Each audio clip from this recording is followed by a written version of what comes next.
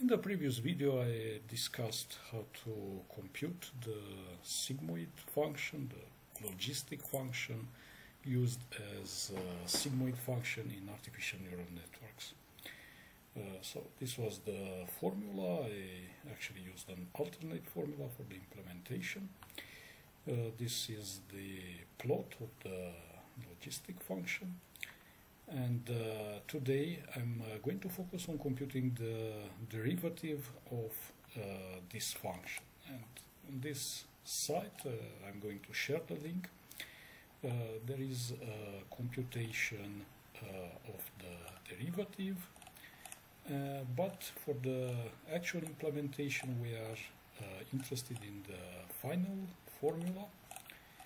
And of course there may be multiple equivalent formulas, but I'm going to use for the implementation uh, this formula. So the derivative of the sigmoid function is actually uh, the sigmoid of x uh, times 1 minus uh, sigmoid of x. So uh, in artificial neural networks you usually uh, passes, the forward pass where you compute the activation function, so the sigmoid of x, and then the backward pass where uh, you compute the derivative.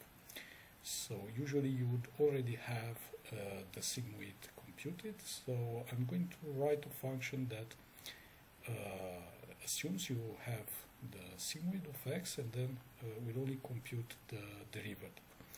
Uh, but if you also want to compute the derivative, the sigmoid, uh, please watch the previous video. I will leave a link in the description for the entire function.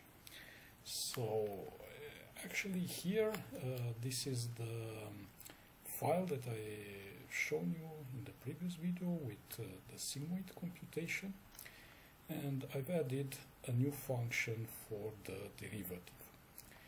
Uh, and uh, as I said, it expects in uh, RDI the address of sigmoid of x, the result of applying the previous function. So this must already uh, be computed. And in uh, RSI, uh, the address where we want to store the output. And the formula for this is uh, sigmoid of x times 1 minus sigmoid of x. And uh, this is quite straightforward using uh, 8087 floating point instructions.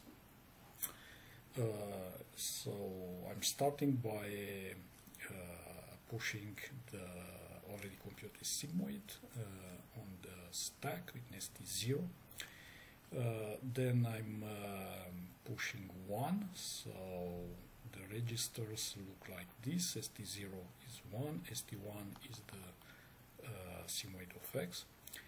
Uh, I'm uh, pushing again uh, the sigmoids of x from st1 on the stack. So now we have uh, sigmoid of x 1 and again sigmoid of x. FCH S is uh, instruction that changes the sign. So now we have minus sigmoid of x, 1 and sigmoid of x. Then I'm adding with pop uh, the first two values. So now we have uh, in st0 1 minus uh, sigmoid of x and in st1 uh, sigmoid of x and I'm performing a multiplication again with pop. So now uh, in st0 we'll have uh, sigmoid of x times uh, 1 minus sigmoid of x. And this is uh, the actual result that uh, we wanted to obtain. So now all we need is to store this uh, result in memory the address in RSI again I've extended a small test program. I have a loop here that goes over the numbers in this uh, data float variable. Uh, this is here. So I have uh, values from minus 1 to plus 1 uh, and if you want you can add uh, additional values here and in uh, data result we'll store first the sigmoid and then we'll reuse this for computing the derivative. So I have here uh, this uh, procedure test sigmoid uh, which is from the last time which calls uh, F32 sigmoid and stores the result uh, in data result.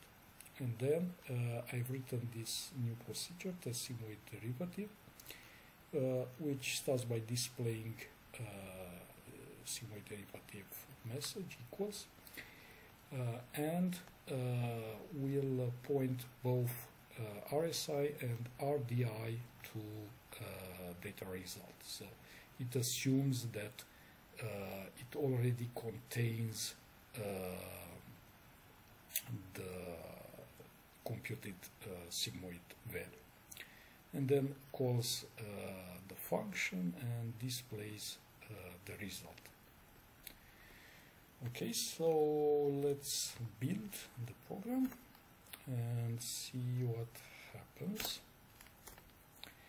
So now uh, for each value starting with minus 1, minus 0 0.5, 0 0.2, 0, uh, plus 0.2 uh, plus 0.5 plus 1 uh, it shows uh, the sigmoid value and the derivative value.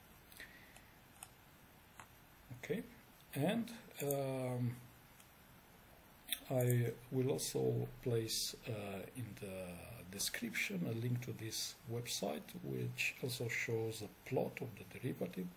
And you can also test uh, here uh, for various uh, values and see what the derivative looks like and of course it corresponds to what we computed. So I hope you found this film, this video interesting. If you did, please like and subscribe and see you next time.